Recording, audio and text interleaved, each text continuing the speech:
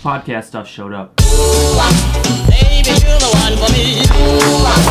Baby, you are. Welcome to the Pole Vault Vlog. My name is Shawn Francis, and we talk everything fiberglass flicking sticks. Kinda. and today we'll talk about 10 reasons you need to go to the Pole Vault Summit, why the stretch reflex is important in pole vault, and bulking. But first, commercial time, commercial time. Everybody loves commercial time. Guys, I just got two new goals up on Patreon. The first one is if we reach the next goal, I will hold a camp in Hastings free to Patreon members who have pledged $25 or more. Four days. One day will be a coaches clinic where I just talk to the coaches. Second day and third and fourth day will be like I'll learn by doing. If you bring your athletes, they can participate. We can talk. I can teach you how to teach them. It'll be great. Goal two is if we reach that goal, I will make a 10 to 12 part online educational pole vault course going from never even seen the event to coaching kids over bars. It seems like something people have been asking me for a long time to do and it's just gonna take a lot of time and energy so I would have to give up the whole summer to do that. So I think it'll be awesome. If either or both of those sound like something you would like to support, head over to Patreon and sign up. Or if you just like these vlogs and would like to keep them going, sign up to you. And last but not least, join Team Hoot. It's 100% free. Just go to team-hoot.com and be on my team. Because I'm really excited about the Reno Pole Vault Summit this year, yesterday I reached out on my Instagram why people should go to Reno at least once. But here are my reasons. All right, let's do a few from athletes and a few from coaches and we'll go from there and I'm wiggling around. From an athlete's perspective, you'll get to see one of the best competitions in the entire world.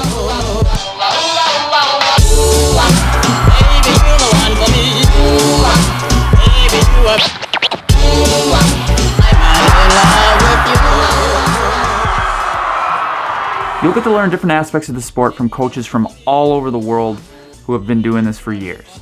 You'll get to pick elite athletes' brains. Not literally, because that's gross, but you'll get to ask them all sorts of questions. Where else do you get to do that? You'll get to meet other athletes from around the country and the world and make lifelong friends. I know many of the friends I still have, we got to hang out in Reno for like three days, and I still talk to them on a regular basis. Now, from a coach's perspective, you'll get to brainstorm and network with other coaches all around the entire world.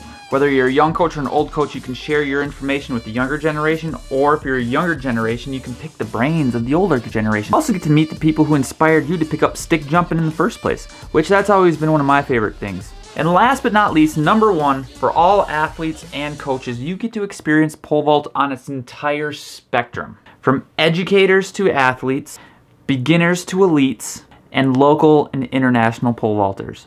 They all come together for this, and it's literally the Disneyland for pole vaulters.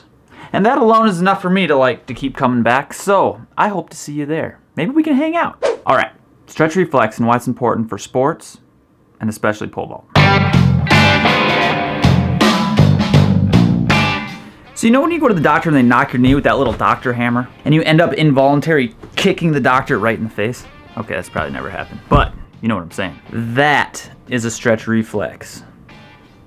And why is it important in pole vault and sports? So your body is super smart and has Now guys, if you want to see the whole video on the stretch reflex, that one's for Patreon members, this one's for everybody. I got two emails last week, well this week, that, which is this pre. The first one said, I've been bulking for three months now. I weigh too much to get on all of my poles and none of them work and they all feel weird. And I, I just can't do it. The second one, I have an athlete who's afraid to lift weights because she's afraid of getting bulky. Kind of the same. We're talking about bulk both sides, but let's approach both of those and try and answer some of these questions.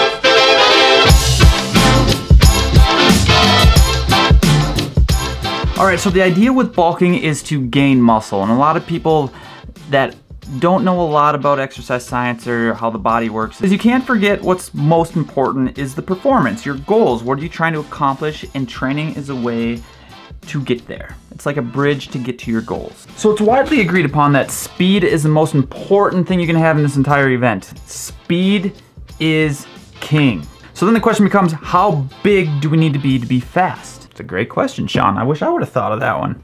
Now, personally, I don't necessarily agree or disagree with bulking uh, in terms of the pole vault, as long as it's strategically implemented into your training program. The problem is most people bulk via supplements. They take a bunch of supplements. I'm gonna take these because I saw it in the magazine, or I saw it on Instagram, or I saw it on the internet, and a bunch of these big dudes are taking big supplements to get big. So what ends up happening is it works. People get big. Athletes get big. People taking it get big. But they don't always get faster and they don't always get more powerful. They're not getting faster more powerful because their movement patterns aren't adapted to that yet. Also, supplements people tend to take make them gain fat instead of just lean muscle mass, which is another problem. Think of it this way. Imagine trying to run a full sprint or pole vault with a 10 to 20 pound weight vest on. Is it gonna be easier or harder? Way harder because the weight you put on isn't helping you move faster. It's just weight you put on. Now, if you had that weight vest, but it also had a jetpack on it, you'd be flying down the runway. And that's kind of what it's like to have good mass versus not good mass. So you have to be careful if you're taking supplements. With anything, you have to decide why. Why and how is this going to help me reach my goals? If you just want to get huge, bulk away. If you want to jump higher in the pole vault, I'd stay away from it and try something else. So if you guys are gonna do this, my recommendation would be stay away from supplements and just try upping caloric intake of healthy foods throughout the day. Find foods that are gonna help build lean muscle mass and when to take them.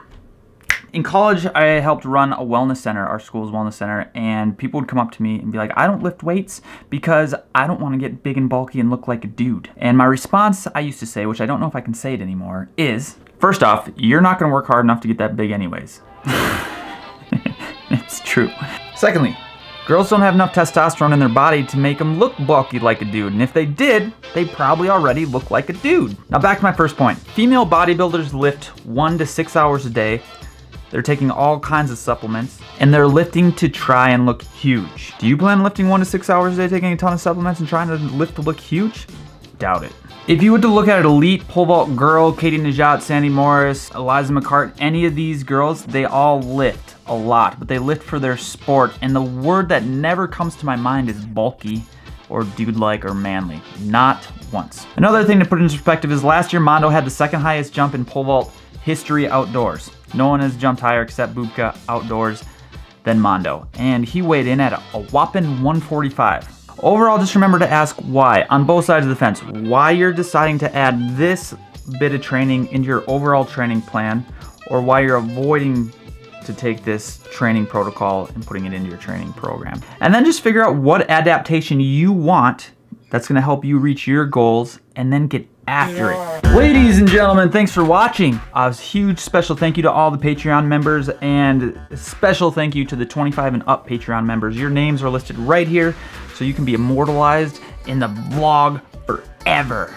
You're trapped in there. I'll never let you go. Guys, remember, there are more than one ways to pole vault. I just told you a lot of different ideas. There's a lot of other ideas on how to do it too. So if you agree with me, cool, try it. And if you don't, well, that being said, life is meant to be experienced and curiosity will get you there.